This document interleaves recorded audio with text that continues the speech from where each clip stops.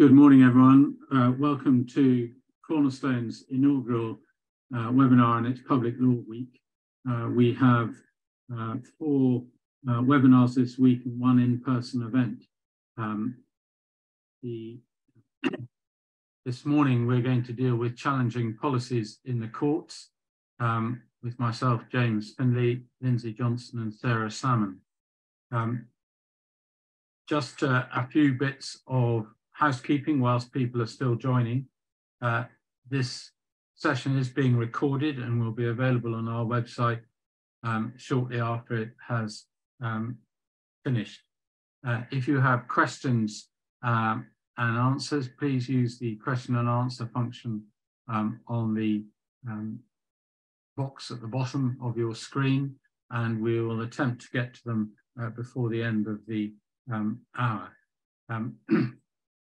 the uh, Public Law Week um, has a in-person session on Thursday that is sold out, but all the other sessions, uh, there are still spaces available and there will be a slide at the end of uh, the uh, session this morning uh, reminding you what they are. So, um, reverting to this morning, uh, our order of play, if we could have the next slide, Lindsay, please, is um, Sarah Salmon is going to deal with an overview of the key principles. Um, Lindsay is then going to deal with challenges to policies in the High Court um, as a mechanism to enforce specific rights. I'm then going to say something about direct challenges to policies, including where a policy is not adopted. And then Sarah is going to grapple the thorny topic of dealing with challenges in county court proceedings. Uh, and then we'll have a question and answer session. Um, you should have had biographies of all of us, um, but let me just introduce um, the other two um, speakers this morning. Uh, Lindsay specializes in public law, uh, particularly in terms of adult social care and healthcare, corporate government and policy. And just to pick up one of the many quotes from the um, directories, Chambers 2023 calls him an absolute powerhouse. Sarah, who's going to be speaking next, specializes in local government, housing and property law.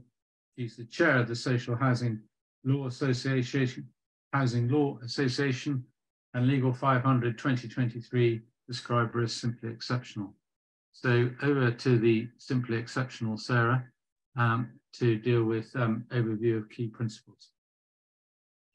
Good morning, everyone. Um, I'm not sure I can live up to that this morning, James, but we'll, we'll give it a go.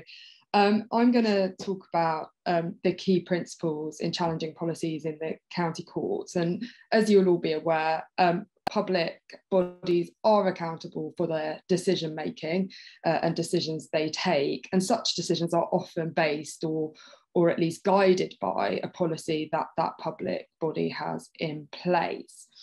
In the summer of last year, The Guardian reported that um, in terms of successful High Court challenges to government policy and decisions of public bodies, the success rate had fallen. It was said to have been 26% in terms of success rate in the courts if it was measured in terms of matters that come to a final hearing. It is still important, however, um, however, that the courts are uh, able to look and scrutinise decisions of public bodies. And as Lord Neuberger said in a lecture in 2013, it is one of the most important functions the courts have.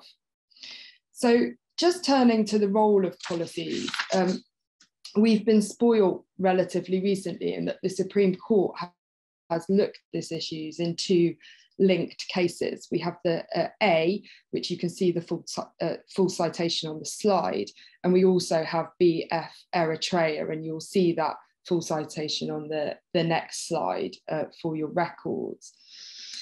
In A, as you'll see from the slide I've set out, the court set painted the picture in, in terms of what policies sort of meant and were in, in relation to public law challenges. And it's important to consider this um, principle before moving on to the underlying legal principles of how courts can be challenged. You'll all be aware that sometimes you have to have policies that are dictated by statute uh, and others uh, you just have that are not statutory policies.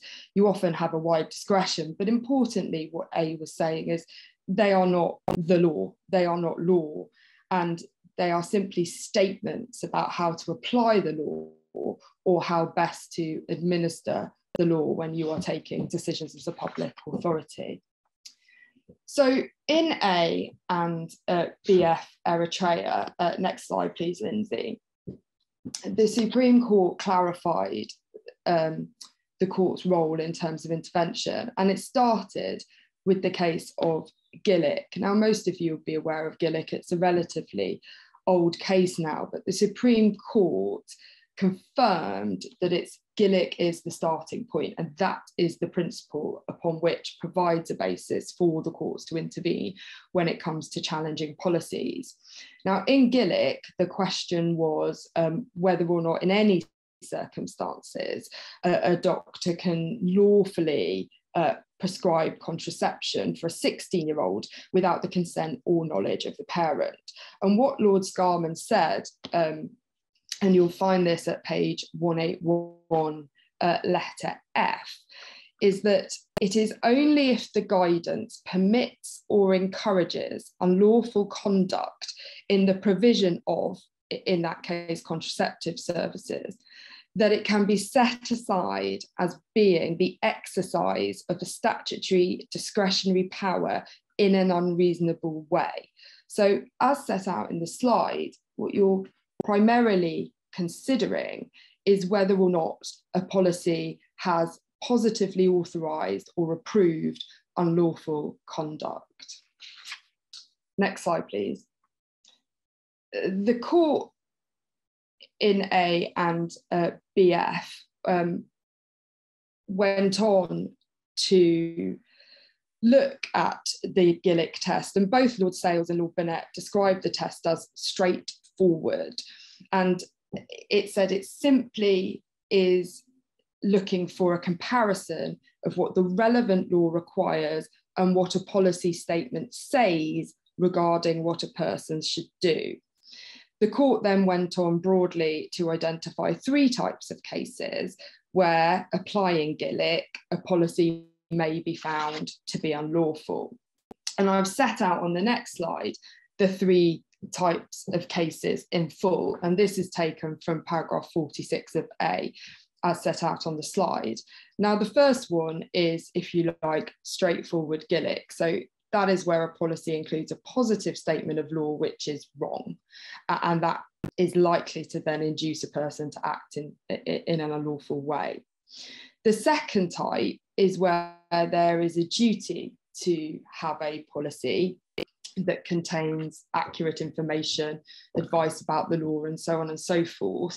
But within that policy, there's a misstatement of law or there's been an omission, which means that um, it doesn't do what it should uh, under the duty to have that policy.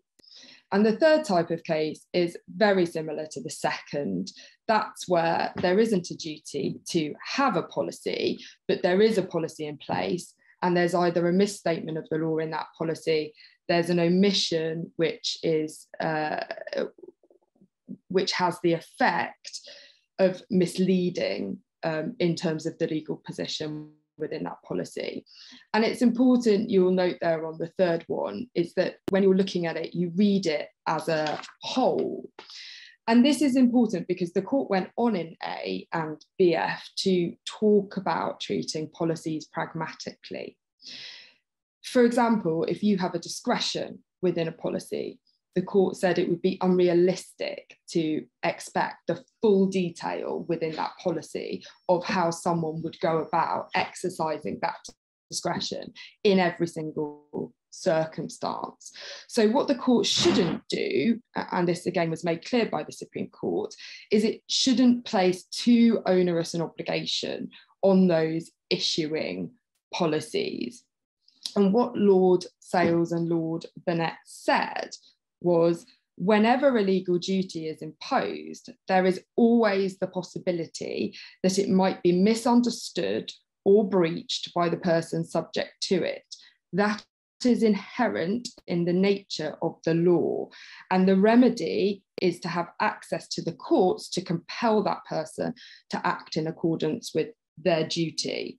So, yes, you have a policy, your policy may may set up everything as it should in terms of legal obligations, but there's always going to be the risk that it's implied incorrectly or it's misunderstood. So that was made clear by the Supreme Court that we have to be a bit pragmatic. We can't look at it in minute detail. It has to be read as a whole, and there has to be a certain amount of leeway given to public authorities, especially where there's an element of discretion. The court went on in a AMBF to look at other legal challenges and legal principles that may apply when you're challenging a policy. And in relation to unfairness, which is a challenge I think we often see, whether it be in the High Court or, or in the county courts, it said that, of course, a claimant is entitled to redress when it comes to unfairness. That might be procedural unfairness. But there was no sound basis for conceptual basis for separating out unlawfulness due to unfairness from unlawfulness for any other reason. And that was A, applying the detention action case that I've set out on the slides there.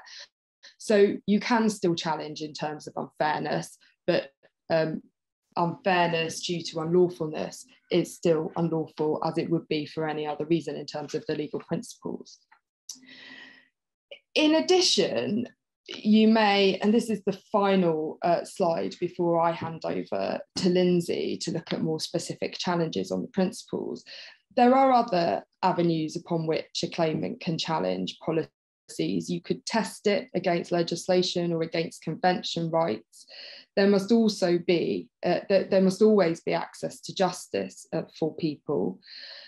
your policy must also not limit or fetter discretion. So you shouldn't have an overly rigid policy, which means that somebody applying that policy is prevented from a true and proper exercise of, of discretion when looking at that policy.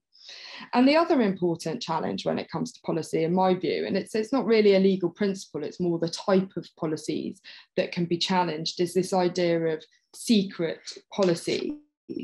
And of course, we saw that relatively recently in the case of HM against the Secretary of State for the Home Department.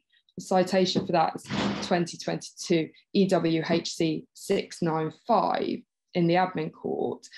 And in that case, the Home Office actually conceded that it had a secret and a blanket policy of seizing and downloading data from mobile phones of all those arising in small boats. And that sort of secret and blanket policy was unlawful.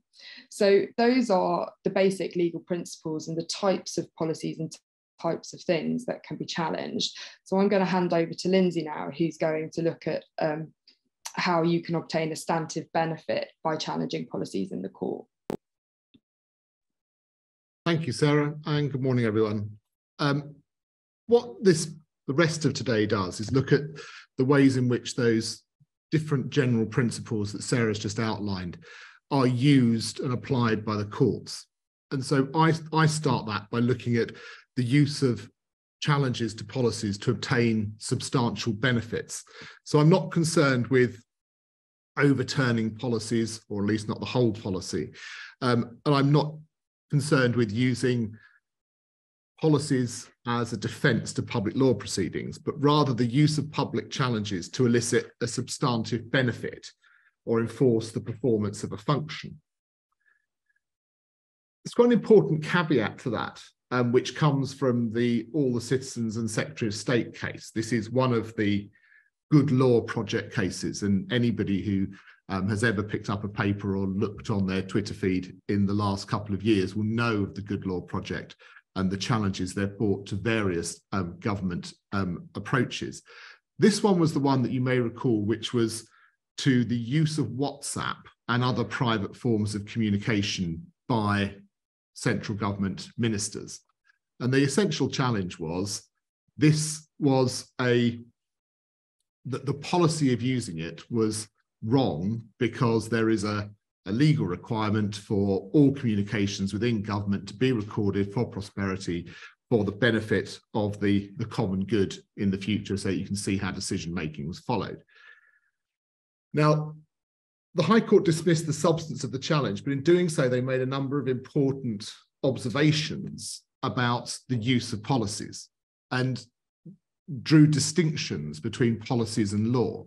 And these build on some of the general principles that Sarah's just been talking to you about. So I've set out the, the five key principles in this slide. Policies are different from law and they don't create legal rights as such. So that that's, might seem like an obvious point. If you have a statutory right to do something, it's enforceable. If there's a policy that creates that right, it's more going to be in the nature of guidance. And you go back to the A case that Sarah was talking about as an example of that. Then, of course, that they serve a useful function to promote good administration. And this is the, the general principle that like cases should be treated alike and unlike cases should be treated differently.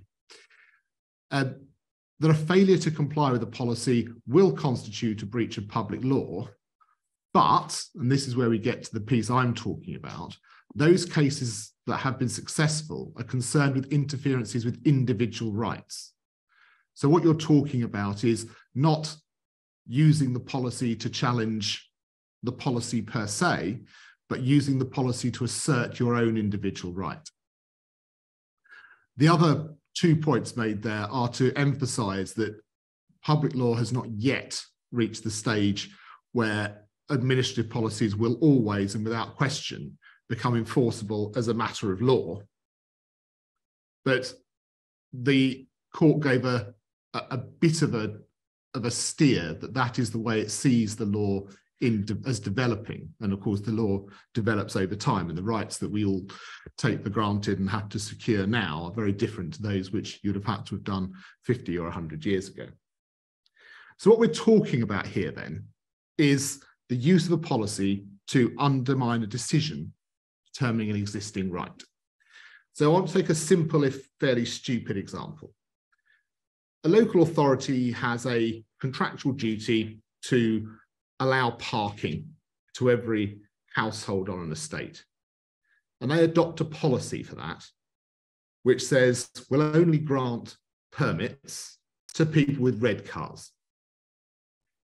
Now, if you have a, a blue car, how do you enforce your contractual rights to park your car or to have a permit?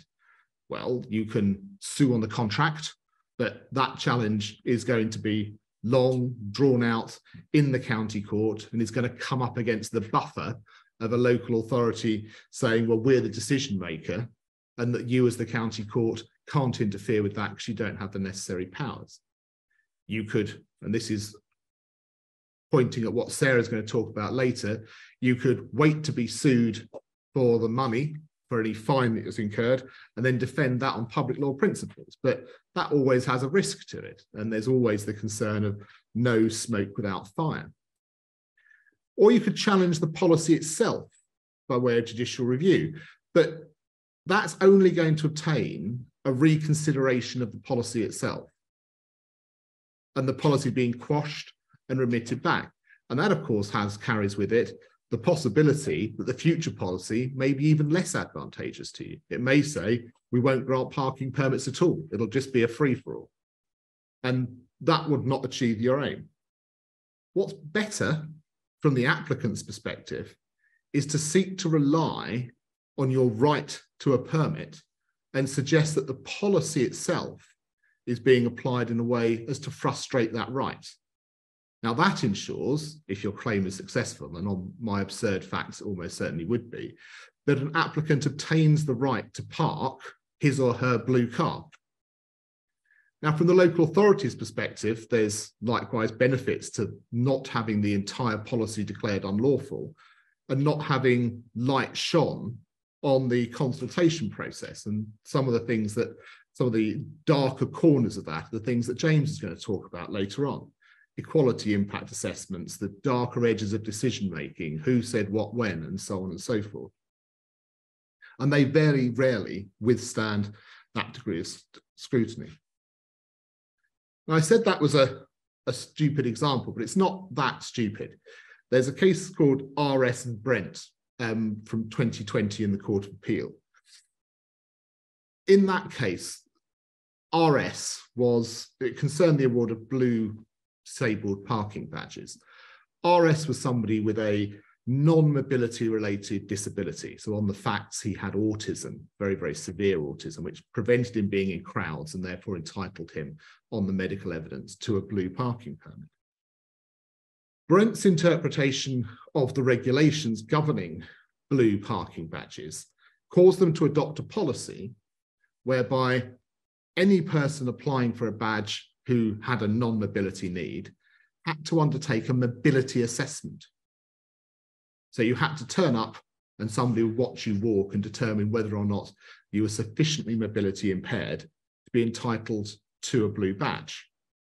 Now, RS challenged that approach on the basis that he had an entitlement to a blue badge under the regulations. He met the qualifying requirements, and that any policy requiring him to have a mobility assessment was frustrating that right. So very similar the way in which we just put the previous one. In the event, the law or the government clarified the law prior to the substantive hearing and the case turned essentially on a question of costs. But the essence of the role of the challenge is there. What RS was trying to do was not to overturn the whole policy itself, but to say that that policy in its application frustrated a legal right to which he was entitled.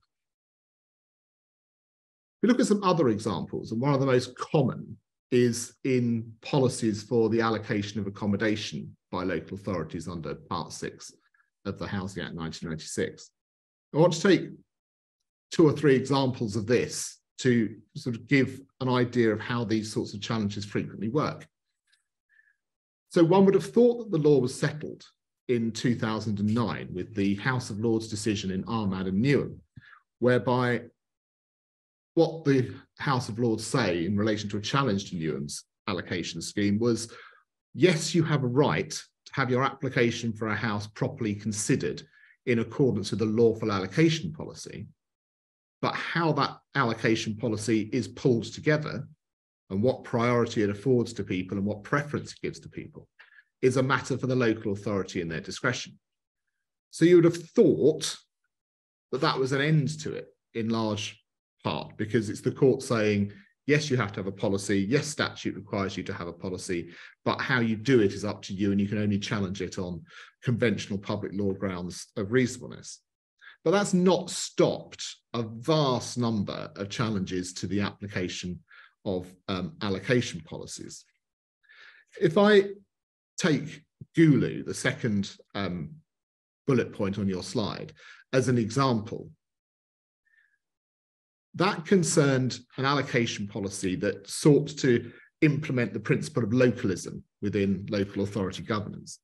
And so it said that, that, that their allocation policy would only allow onto the scheme those who had a local connection with the area, who'd lived in the area, who could establish a long connection with the area.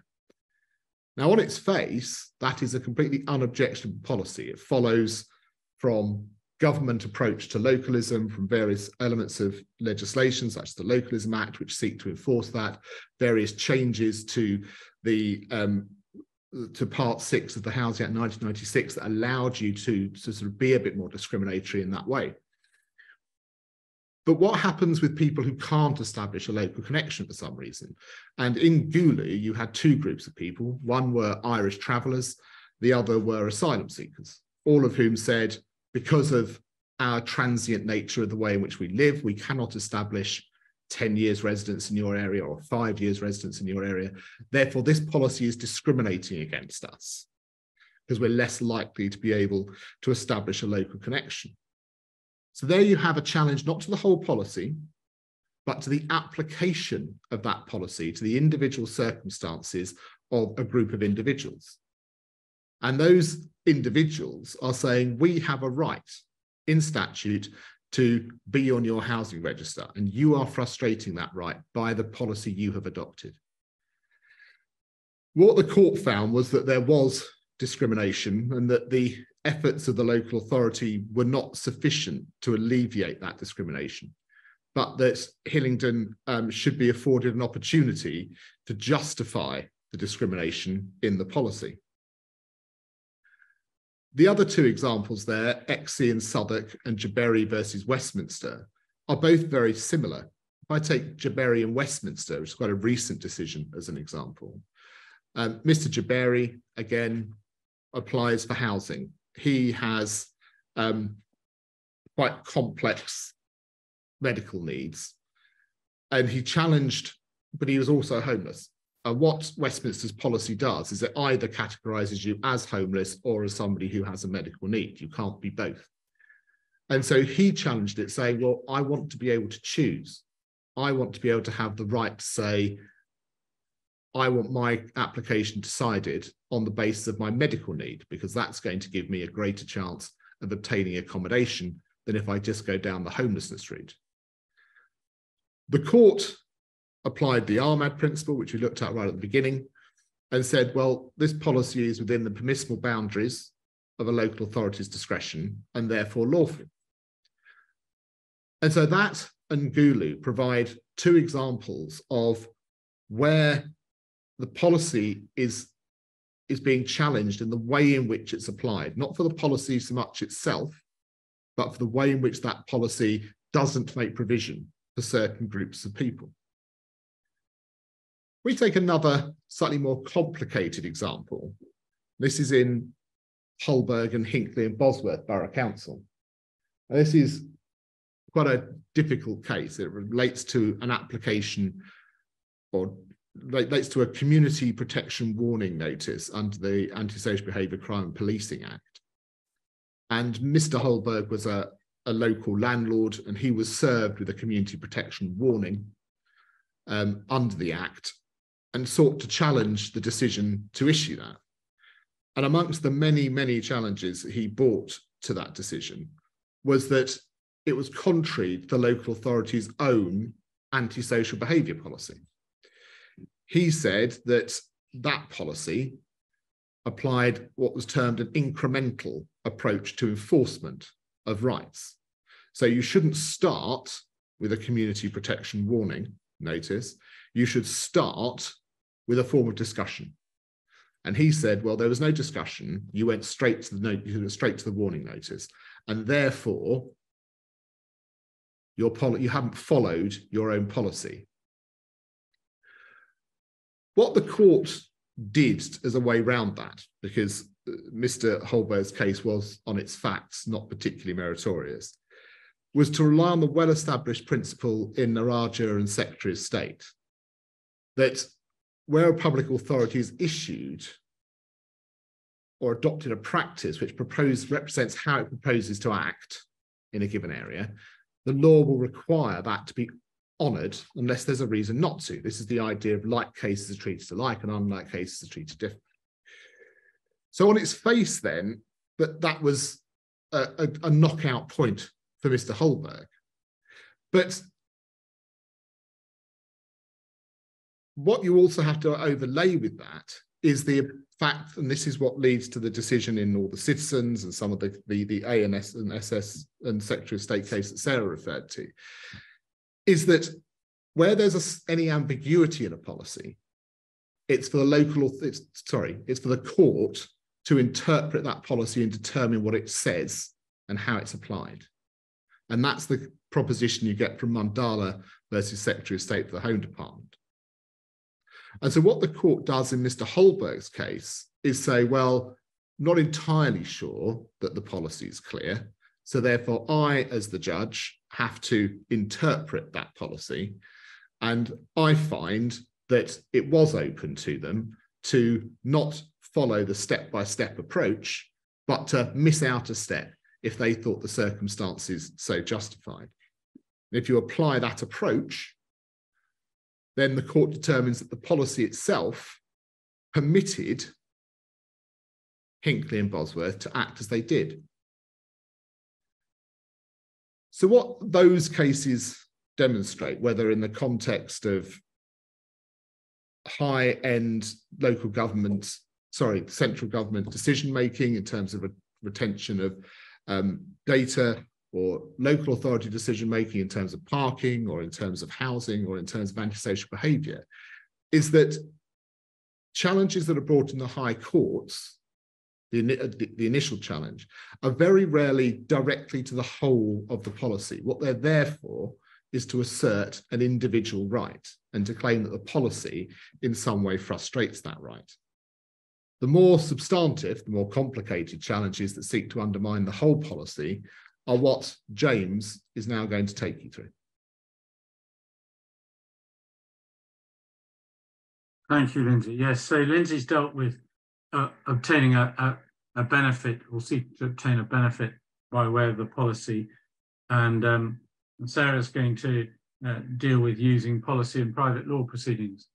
Uh, but I'm going to deal with direct challenges to policies, including where they're not adopted. So that's when um, a, a, local authority or central government, but I, for my purposes, I'm going to be primarily taking the example of a local authority has adopted or proposing to adopt a policy and it is threatened with and then subject to challenge.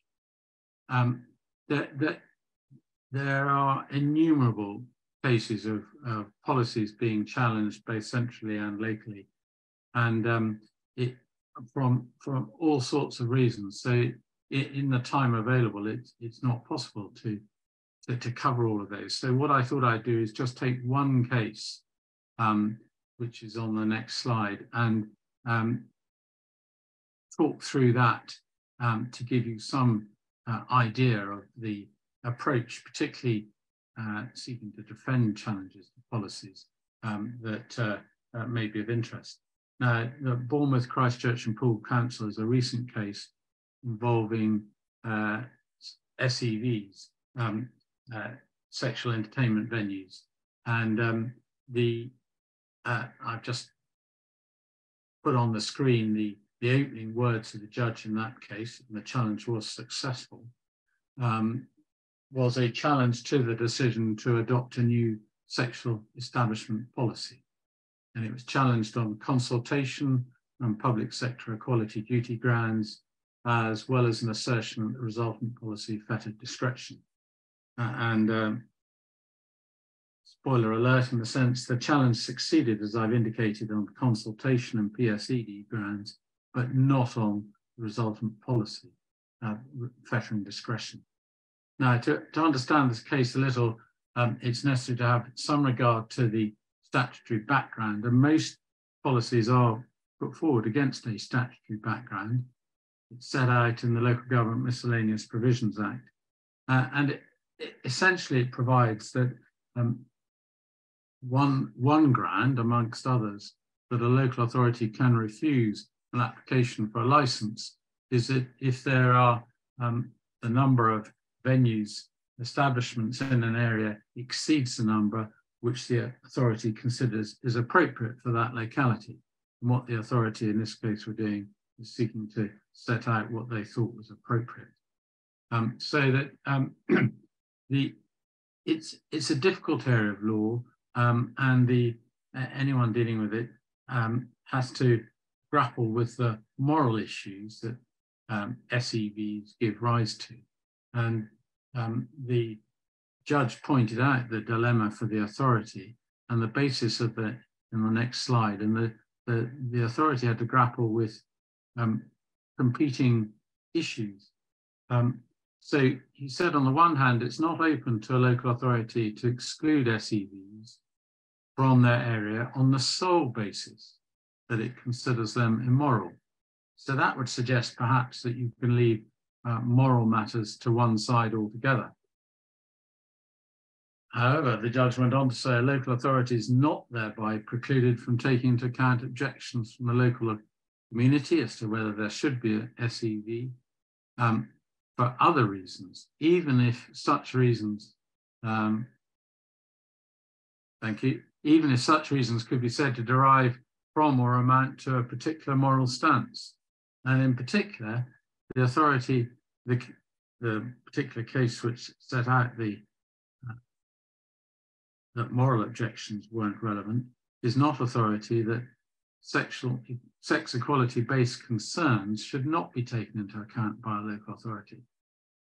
So it, it, it's a difficult issue there, and it's very difficult for a, an officer writing a report to members to get over, on the one hand, that they're not entitled to take into account um, simple matters of morality, but that they shouldn't exclude um, sex equality based concerns. Um, uh, so that was the um, what lay at the heart of the challenge that what officers had done was to uh, prevent members when they were determining the policy take into account the sex equality based concerns on the basis that uh, morality and moral issues were excluded. So we now look at the, the, the three potential grounds of challenge, dealing with the intra vires fettering of discretion first.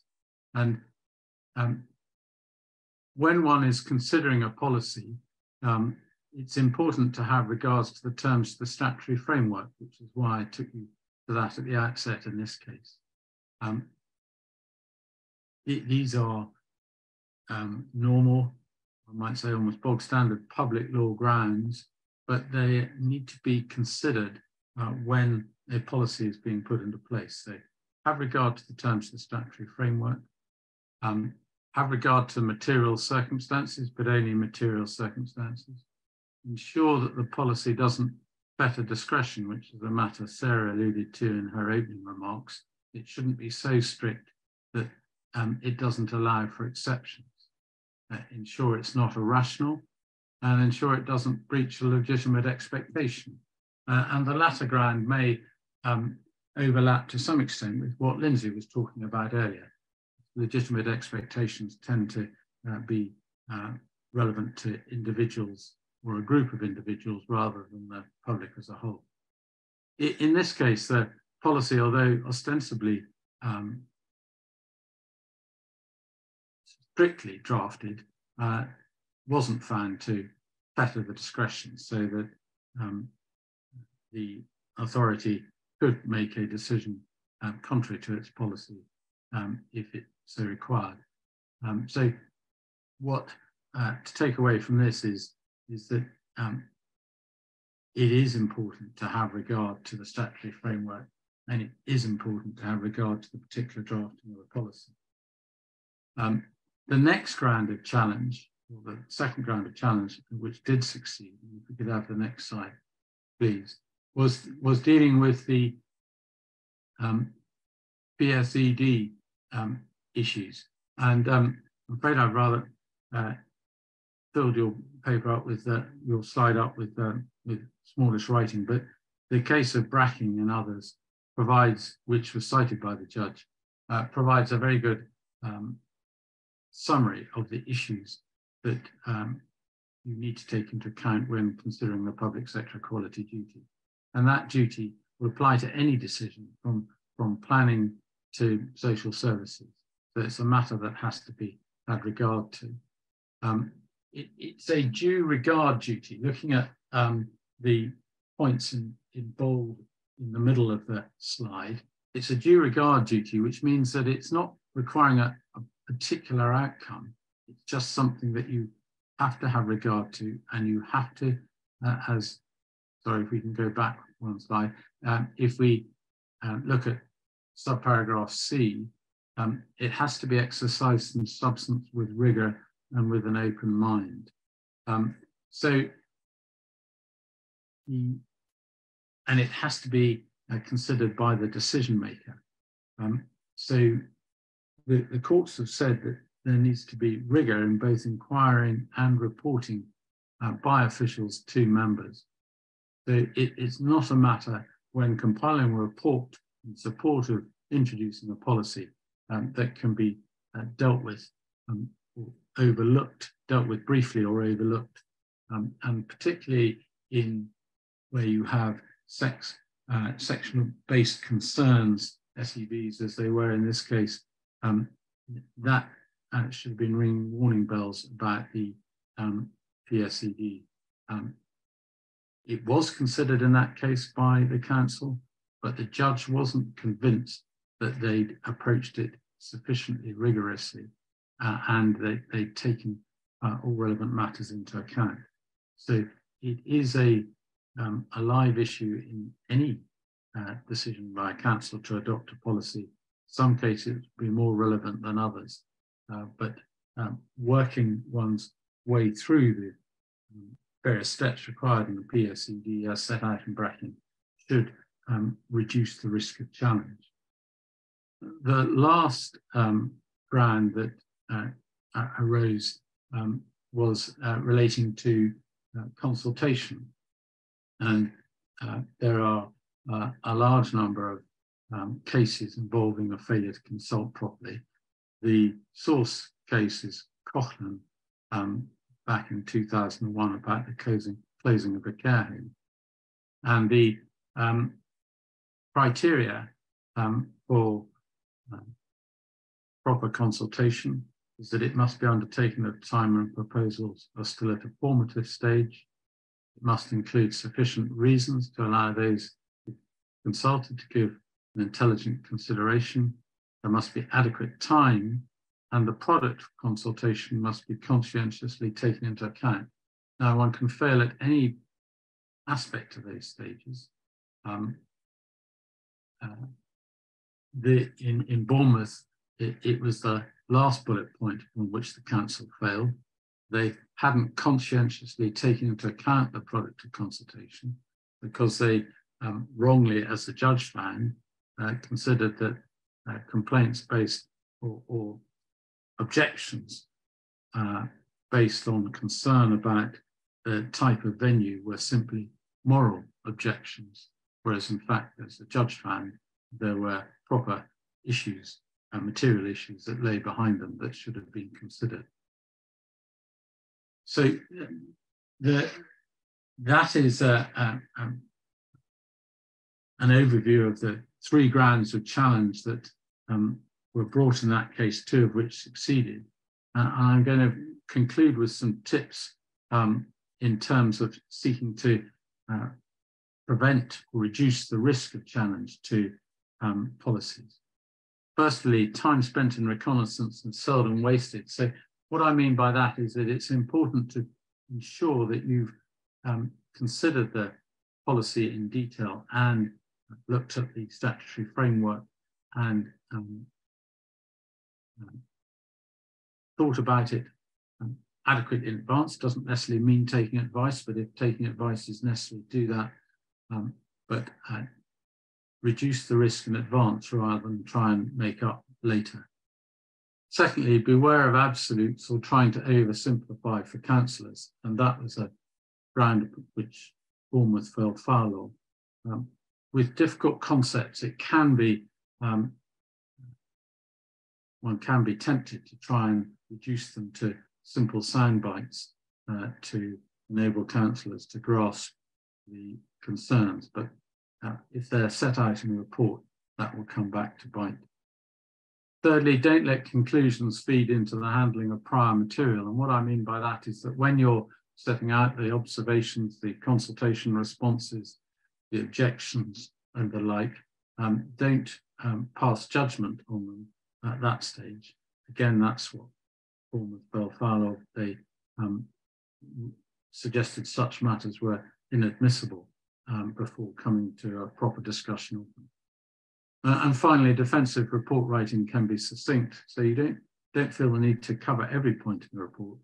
And to remind you that um, if somebody raises something after the report becomes public, um, it's always worth giving consideration to orally supplementing a report before committee to try and reduce the risks of challenge.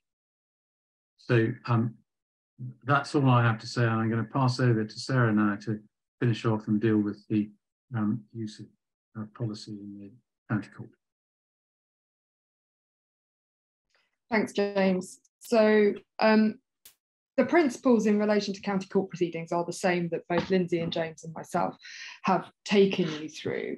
Um, and on the first slide, you can see there are a couple of cases there in the 1970s, But really, um, the raising of public law defences in private law proceedings became common practice after the Wandsworth and Winder decision that's on uh, bullet point three of your slide. Now, after Wandsworth and Winder, there's been uh, more recent, or relatively recent cases. And the main second bullet point on your slide highlights that um, in the county court, you're not subject to the same procedural restrictions of the administrative court. And what I mean by that is there was a case in 2009 um, called Doherty and Birmingham City Council.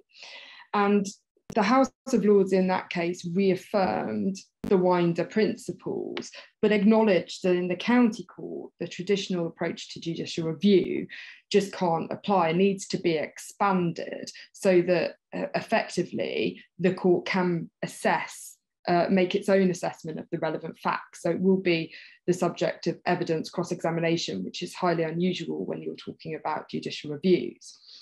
And although the focus of these slides are on some housing cases, because challenging on public law principles seems more prevalent there, it's right to acknowledge that this is not just about housing cases. I've put two examples on the slide. Lindsay, of course, mentioned in his talk that you could wait to be sued and then bring up a public law defence. Um, in the University College London case, that was an application for an injunction, and actually it was consideration of an injunction at an interim stage.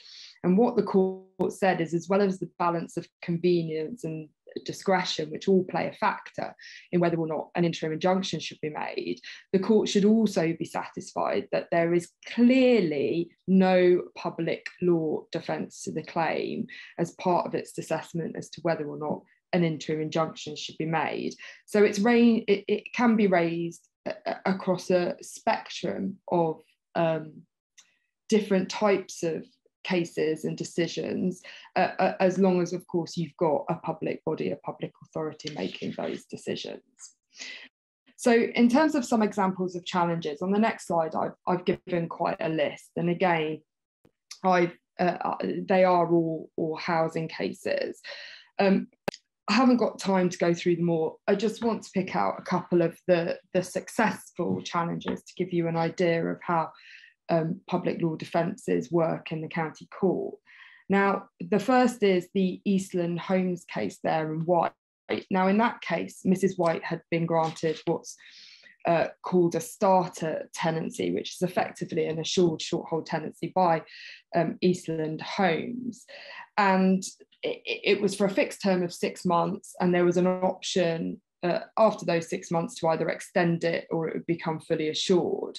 Now, in relation to the first starter tenancy, there was actually a possession order made, and so Miss Whyte's first starter tenancy was ended, but she was granted, after the possession order, a further starter tenancy by the Housing Association. And this was the tenancy that was the subject of a public law defence in the county court. And what happened when she, she fell into arrears and there were some allegations of antisocial behaviour. Now, Eastland Homes decided to serve a notice. And when they served a notice based on rent arrears and antisocial behaviour, they also um, gave uh, Miss Whyte advice as to the appeal process and actually provided a copy of the policy uh, as to how an appeal process would work. So she could challenge the service of the notice and say that possession proceedings should not be brought. She went through the appeal process. Uh, uh and on appeal, the decision was upheld, although it was it was a slightly bizarre decision because it also suggested that Eastland Homes could apply for a warrant, but of course at that stage there'd been no possession proceedings yet but there was a basic letter sent out and there were no reasons given as to why the appeal was upheld. So in the county court, uh, Miss Whyte sought to defend the proceedings once they were issued by way of public law defence. And first, she said that they failed to actually follow their appeals policy. And secondly, she alleged um, procedural unfairness. Uh, specifically, there was a failure before the appeal um, took place to provide written copies of the evidence that Eastland Home had as to why they were bringing these proceedings. But there were other aspects of, of public law challenge as well. The failure to provide reasons in the decision, not taking into account uh, relevant considerations.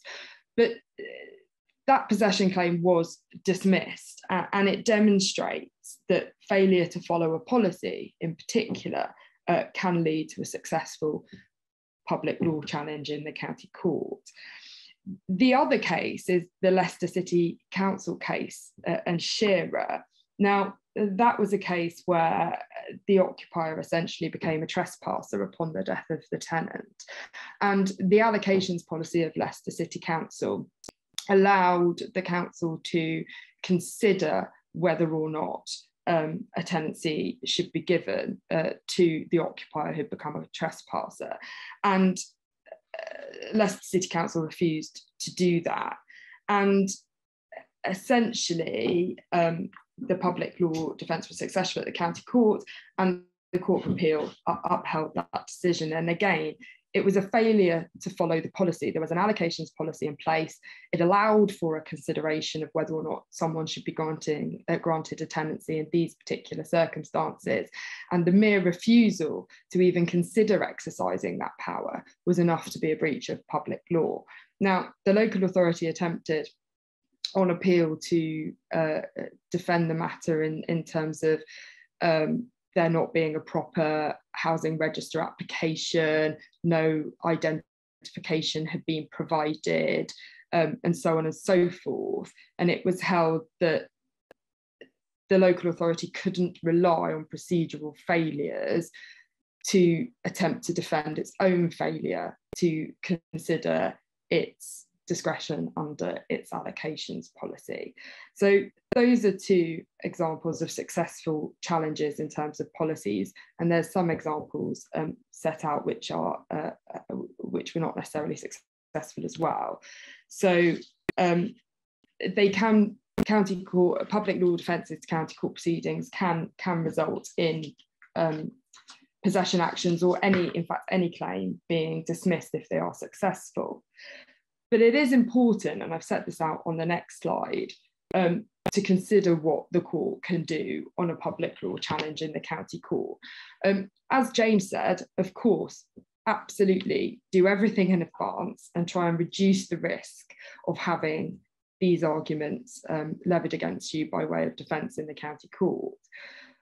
But if you do find yourself in a situation where it's been alleged you've breached your policy, and on the face of it, there may well have been a breach, then it is not necessarily the case that your claim is dismissed.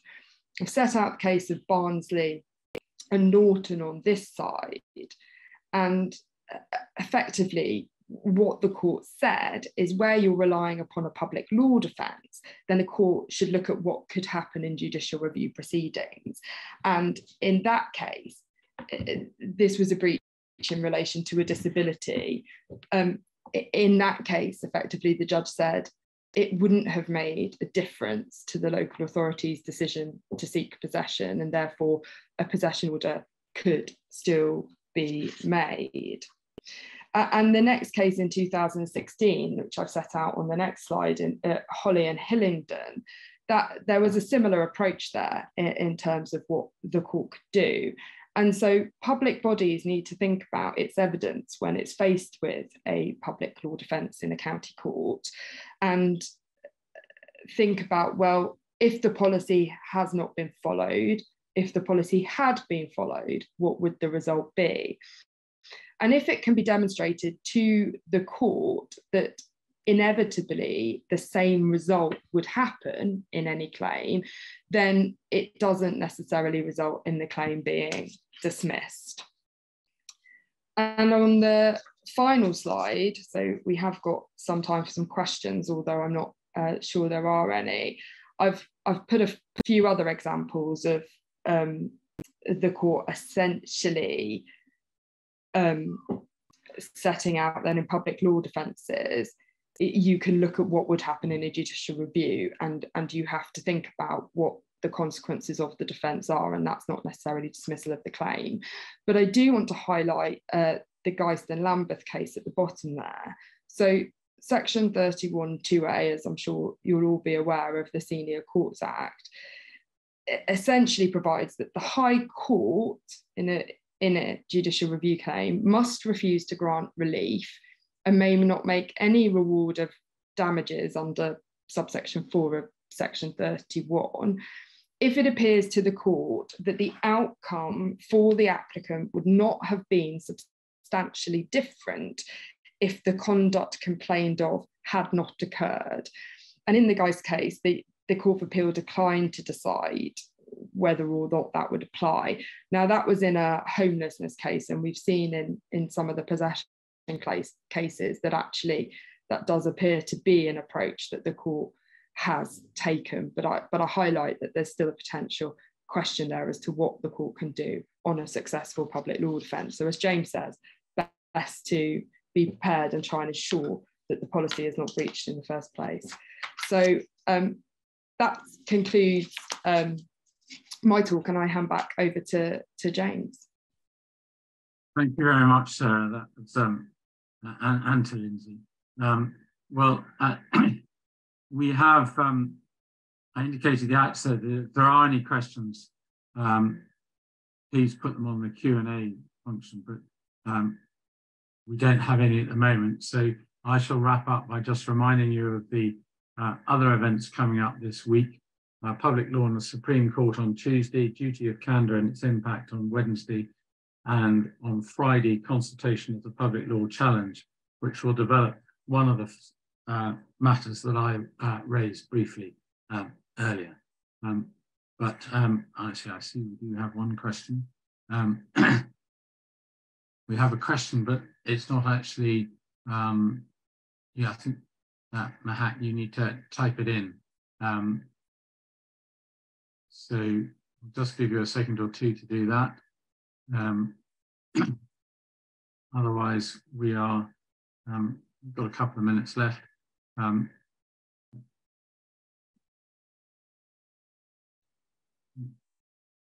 nothing coming in yet. Um,